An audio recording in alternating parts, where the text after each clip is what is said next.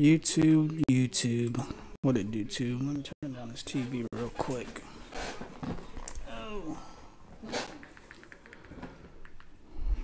So I got an article from the Washington Examiner about Mayor Brandon Johnson.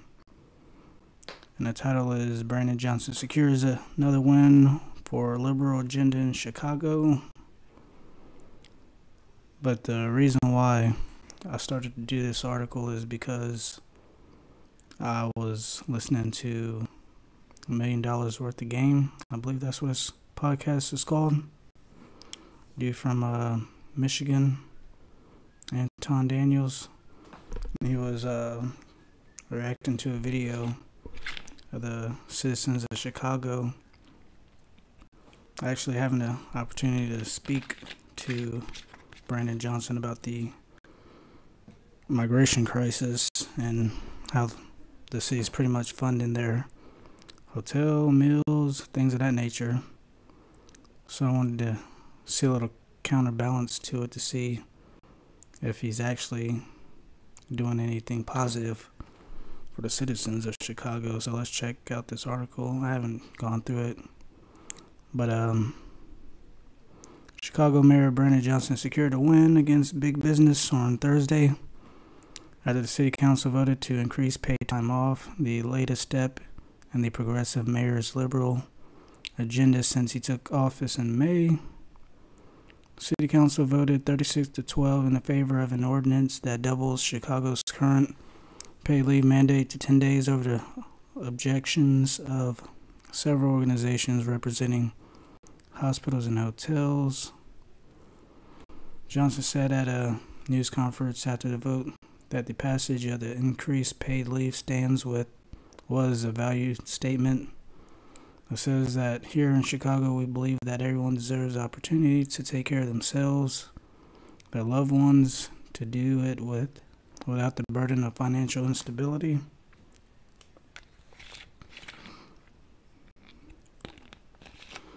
We are enticing progressive policies that will ultimately attract the best talent because we're unlocking Chicago's greatest potential. The de- Democratic mayor said, according to Chicago Tribune, our greatest potential is people. Along with 10 days of sick leave, the ordinance exempts small businesses from having to pay out unused paid time off to exiting employees and delays the date when workers could sue their employers over violations.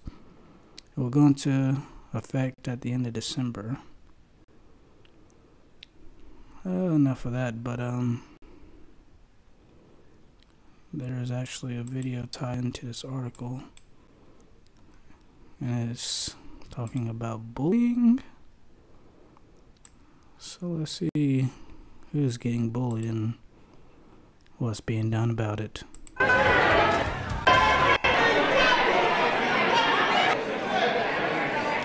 Another day and more tensions boiling over at City Hall. Council divided over how to handle allegations, bullying, and threats by one of their own members. WGN political reporter Tahman Bradley live outside City Hall tonight. Hi, Tahman. Hi, Mike and Ray. There was important business on the agenda here at City Council today, but first, the alders had to address allegations of bullying and intimidation. I felt like I was back in the South. 68 year old Emma Mitts, who was born in Arkansas, speaking for the first time since what she calls a highly uncomfortable encounter with Carlos Ramirez Rosa outside last Thursday's special city council meeting. He said, You know, you shouldn't be in here. I said, Well, why are you bothering me? He says, Because the rest of your colleagues are idiots. Witnesses accused Ramirez Rosa of intimidating Mitts, blocking her from entering the meeting. Now, I don't know what manhandling and how people said it, but it was more of you can't go into this meeting.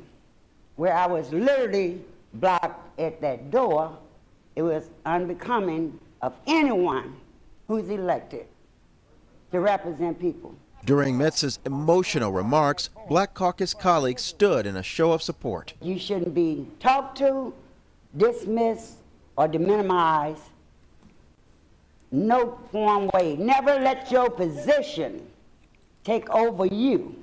Next, it was Ramirez Rosa's turn. I rise to apologize to my colleague, Alderwoman Emma Mitts, to all of my colleagues, to this council, for my actions last week, Thursday. Thursday's special meeting was chaotic, tensions were high. I dramatically overreacted to the intensity of what was happening in that meeting. And there's no excuse for that. Ramirez Rosa is also accused of threatening to block zoning for other council members. I also apologize to Alderwoman Nicole Lee, Alderman Felix Cardona, Alderman Chris Sal- Well, that's enough of that. When it comes to written statements, especially in the form of an apology, I feel that it's not really sincere, man. But um, I'm assuming that this incident was tied to, like I was saying earlier, Anton Daniels. He did a reaction to the citizens actually have an opportunity to speak to Mayor Brandon about the immigration crisis situation. I'm assuming all that happened during this time period. And Mr. Daniels, he did a awesome job with his reaction, I thought. Um, talking about how literally just because you have a person of color in a position doesn't mean that he's there for your best interests or the citizens' best interests. But I advise y'all to go check out the Anton Daniels channel. I think it's called a million dollars worth of game, but uh, I'm gonna move on to a different article. It involves New York's mayor Adams getting his electronics seized by the FBI. This article's from Reuters. Excuse my speech. I have a what is it called? I have a partial in so. New York, November 10th. FBI agencies electronic devices from New York City Mayor Eric Adams earlier this week, days after a raid on the home of his chief campaign fundraiser. According to attorney for the mayor's campaign, federal authorities are conducting an investigation into whether his 2021 mayoral campaign conspired with the Brooklyn Construction Company and the Turkish government to funnel foreign money into the campaign through a straw donor scheme. Boyd Johnson, an attorney for Adams' campaign, confirmed on Friday that Adams had provided the FBI with electronic devices after several agents approached the mayor following an event on Monday. Johnson said the FBI requested the devices after Adams informed investigators of impropriety by an unidentified individual. After learning of the federal investigation, it was discovered that an individual had recently acted improperly. In the spirit of transparency and cooperation, this behavior was immediately and proactively reported to investigators, Johnson said in a statement. The mayor has not been accused of any wrongdoing and continues to cooperate with the investigation. The statement said the FBI declined to comment. The devices seized from the mayor, at least two cell phones and iPad, were returned with within a matter of days, the Times said. Johnson did not provide detail about the type of quantity of devices seized. FBI agents had searched the home of Adams' chief election campaign fundraiser, Brianna Suggs, on November 2nd, and she was questioned by public corruption investigators, city officials, and local media said. Law enforcement officials have investigated several other associates of Adams in recent months. In July, Manhattan District Attorney Alvin Bragg announced the indictment of six people he said had used a straw donor scheme to illegally generate public matching funds for Adams' 2021 electoral campaign, election campaign. All six men have pleaded not guilty.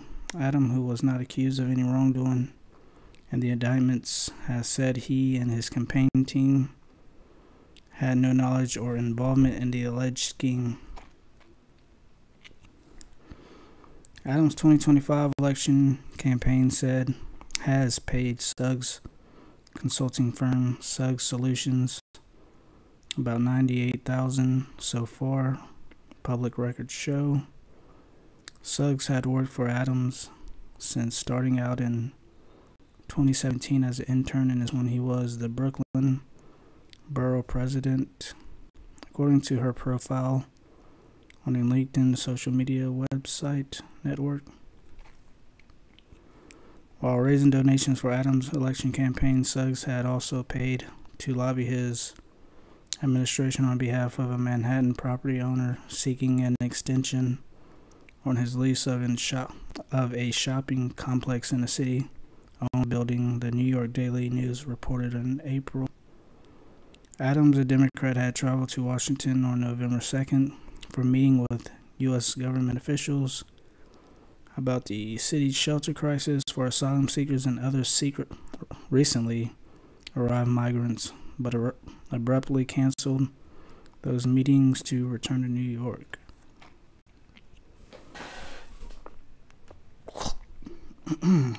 Excuse me. As you can tell, I haven't stopped dipping. I need to quit. I'm gonna quit. It's my last can though.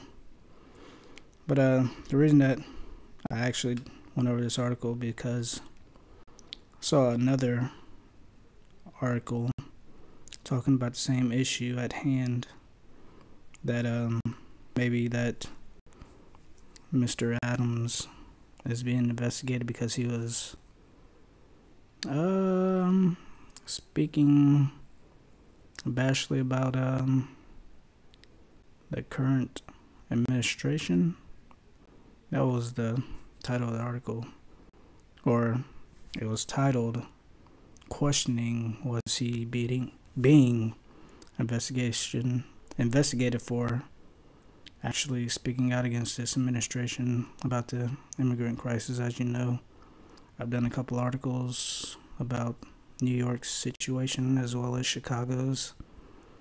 But um, yeah, let me know your thoughts. Like, comment, subscribe, share.